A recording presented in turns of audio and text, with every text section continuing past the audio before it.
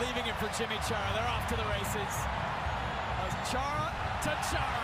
Diego Chara. Chara!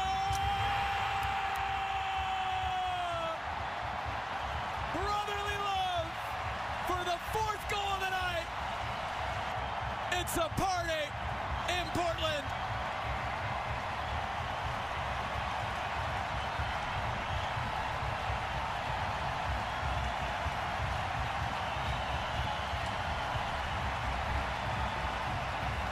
Goodness me, how quick is this breakout? And how much does that man mean to his teammates? And this crowd here, you just look at the Timbers when they get on that ball. Blanco and Yimmi Chara work it so well.